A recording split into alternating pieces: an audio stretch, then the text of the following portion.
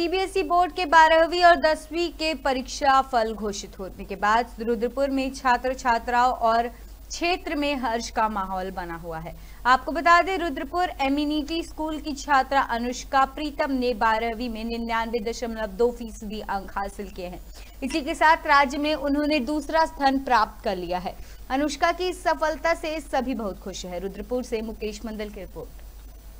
मेरे दसवीं में 99.4 परसेंट आए थे और मेरे बारहवीं में 99.2 परसेंट आए हैं। बहुत अच्छा लग रहा है। मतलब टेंथ में भी आया था ट्वेल्थ में भी आया है तो डबल खुशी का माहौल है।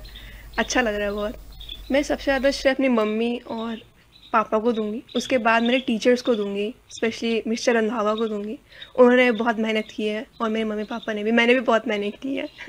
इसलिए आया ऐसे कोई फिक्स रूटीन नहीं रहता है। जिससे मतलब टास्क बेस्ड रहता है, इस दिन मुझे ये करना है तो उस हिसाब से मेरे घंटे, पढ़ने के घंटे भी बदल जाते हैं। कभी कोई टास्क दो घंटे में हो जाएगा, कभी छः घंटे में हो जाएगा। कॉमर्स में तो सबसे बेस्ट अकाउंटेंसी और इकोनॉमिक्स लगता है। आगे चल के मेरा एम तो डीयू से ग्रेजुएशन करना है। उसके बाद मैं कॉमर्स में अपना करियर बनाना चाहती हूँ। पहला प्रेफरेंस मेरा सीए ही है।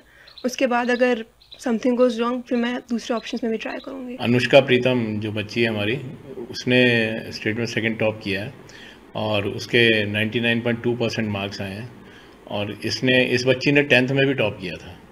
जब ये थी तब भी इसने स्टेट टॉप किया था और ये आगे क्लैट की तैयारी कर रही है लॉ में जाना चाहती है और इसके लास्ट में दो तीन महीने बहुत मेहनत की क्योंकि लॉ की तैयारी कर रही थी उससे पहले क्लैट के लिए। और बहुत होनहार बच्ची हैं। इन्होंने बहुत ज़्यादा मेहनत की है और बहुत इनका जो भविष्य है वो बहुत उज्जवल है।